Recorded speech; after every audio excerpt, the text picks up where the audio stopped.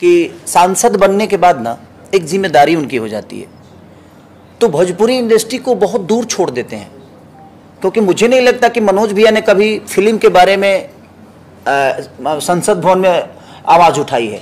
ना ही रवि भैया उठाए हैं ना मनोज भैया उठाए हैं और ना ही दिनेश भैया उठाए हैं। अगर ये चाहते देखिए सब्सिडी देने से मुझे नहीं लगता है कि फ़िल्म पे कोई असर पड़ने वाला है और भला होने वाला है।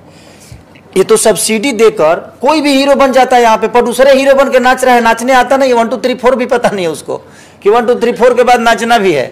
और वो हीरो बन के एकदम स्मार्ट बन के बोलो कि भाई अगर हम हम एक करोड़ अस्सी लाख किसी हीरो को देंगे, उससे अच्छा है कि हम तो एक करोड़ में तीन को फ़िल्म बना लेंगे।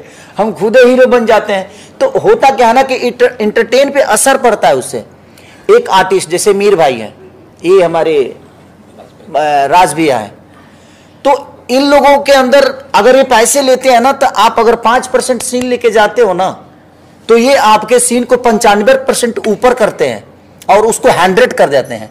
तो मेरे कहने का मतलब बेहतर कलाकार तब आते हैं जब उनको पता होता है कि एक्टिंग का मतलब क्या होता है और एक्टिंग को जिया कैसे जाता है। इन्होंने अपने जीवन में काम किया है। अपने जीवन को उस विधा में ले गए हैं, तपे हैं, तब जाके आज ये दोनों बेहतर एक्टर बन के। इनको हम देखते देखते बड़े हुए। हमने भैया को देखा था, मुन्नी के पापा। जब बजरंगी भाईजान आई थी तो मुन्नी के पापा का रोल भैया ने किया था। उसमें मैंने इनको देखा था। तो इतने बड़े बड़े हिस्सा और इतने बड़े मल्टी मल्टी देखिए, हमारी फ़िल्म मल्टी ही है, क्योंकि सारे एक्टर मल्टीप्लेक्स के ही है हमारे। मुझे छोड़ के। मुझे, मैं रीजनल सिनेमा का हीरो हूँ बट मुझे लगता है कि बाकी जो मेरे सपोर्ट में है, सबके सब मल्टी टैलेंटेड लोग हैं और इन्होंने अपने आप पे काम किया है। अब जहाँ तक रही संसद संसद हमारे भाइयों की बात है तो मैं उनसे, मैं रिक्वेस्ट करूँगा कि आप सब्सिडी रोक दीजिए यूपी का। आप थिएटर बढ़वा दीजिए। सरकार से अपील करके आप कम से कम 500 थिएटर लगवा दीजिए, जो बंद थिएटर है, उनको खुलवा दीजिए। मैं बिहार सरकार से भी अपील करूँगा कि जो बंद थिएटर है, उनको सिर्फ़ आप खुलवा दीजिए। हमें कोई रेमुनेशन मत दीजिए। हमें आपका सब्सिडी चाहिए ही नहीं। उसी सब्सिडी के पैसे से आप थिएटर खुलवाइए। जो कलाकार बेहतर होगा, वो परफॉर्म करेगा और लोगों को प्यार देगा। एक सिनेमा हॉल खुलेगा तो कम से कम वहाँ चालीस से पचास दुकान खुलेगी। तो कम से कम चालीस पचास परिवार जो है, वो तो कम से कम बड़ा होगा ना। तो हम बेहतर सिनेमा बनाएँगे। हमारे पास हज़ार थिएटर होगा। तो हज़ार थिएटर के लिए हम सिनेमा बनाएँगे ना। हम टीवी रिमोट पे नहीं आएँगे। अब वही प्रॉब्लम है कि सब्सिडी पचास फ़िल्मों में से दो सिनेमा को मिलती है। उसमें से कम से कम अड़तालीस सिनेमा का तो सब्सिडी मिलता ही नहीं है। तो मुझे कहने का मतलब कि उससे बेहतर है कि सब्सिडी के लालच में कलाकार मारे जा रहे हैं और बेहतर कलाकार। कोई खड़ा हो जाता है, कोई एल्बम अब भी नहीं किया है, वो कुछ नहीं किया है, जीवन में कुछ किया भी नहीं, उसके बाद हीरो बन के बैठा हुआ है, वो हीरोइन बन के बैठे हुए हैं। तो मेरे कहने का मतलब कि मैं सरकार से भी और अपने तीनों सांसद भाई से यही अपील करूँगा कि प्लीज़ आप लोग सब्सिडी का चिंता मत करिए।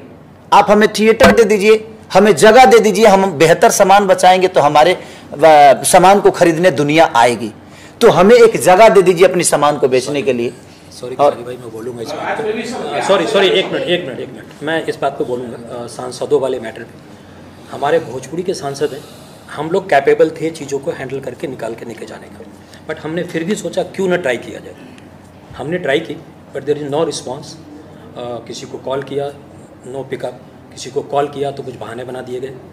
वो चीज़ें ऐसी होती है तो हमने उन पर ब्लेम नहीं किया क्योंकि जैसे अभी खिसारी भाई ने बोला कि उनके पास बहुत सारी जिम्मेदारियाँ हैं उनके स्टेट की उनके राज्य की। तो उनको वो हैंडल करना होता है भोजपुरी चीज़ें छोटी होती चली जाती है जब हम लोग ऊपर निकल जाते हैं तो। तो मुझे लगता है ये सारी नहीं नहीं भोजपुरी देखिए आज भोजपुरी के वजह से ही उनको पहचान मिली। आज जो सांसद भी बने हैं तो भोजपुरी का बहुत बड़ा योगदान है। इस भाषा का बहुत बड़ा योगदान है क्योंकि उन्होंने भाषा से कमाया भाषा ने उनको बनाया। तो मुझे लगता है कि जब आप उस जगह पे पहुँच गए तो आपका एक नेतृत्व तो बनता है और आपकी एक ज़िम्मेदारी भी बनती है कि जिस भाषा ने हमें बड़ा किया उस भाषा को और बड़ा करने के लिए हमें क्या करना चाहिए? ताकि हमारी आने वाली पीढ़ी और बड़ा हो जाए, हमारी सिनेमा बड़ा हो जाए, हमारा प्रवेश बड़ा हो जाए, हम भी साउथ की तरह। क्योंकि साउथ में और हिंदी में थिएटर ज़्यादा है, उनको थिएटर ज़्यादा मिलता है तो उनकी छोटी फ़िल्म भी बड़ी हो जाती है। और हमारी बड़ी फ़िल्म छोटी होने का कारण है कि थिएटर नहीं है और हमारे पास सामान नहीं है। सामान बेहतर है। और हर बार तो सामान बेहतर नहीं होगा ना। अब हर आदमी हिम्मत तो नहीं कर सकता है ना रंग बसंती की तरह बनाने की फ़िल्म। आज इन्होंने हिम्मत की है। अगर इनको रिकवरी सात करोड़ लगाए, अगर साढ़े सात करोड़ भी आ गया ना तो फिर कल से दस करोड़ की सिनेमा बनाएँगे, ताकि साढ़े दस करोड़ आए। तो हमारी सिनेमा तो बड़ा ही हुआ ना। तो मेरा कहने का मतलब मैं अपने तीनों भाइयों से प्रयास करता हूँ, और एक भाई फिर से जो मैदान में उतर गए हैं। ईश्वर करे कि मेरा भाई जल्दी से विजयी होके आए, और मुझे लगता है कि अब वो तीन लोग नहीं उठाए तो ये जाकर उठाए। तो मैं कोशिश सबके करूँगा कि आप लोग मेरे बड़े भाई हैं, और हीरो में मैं हूँ, अभी मैं संभाल रहा हूँ।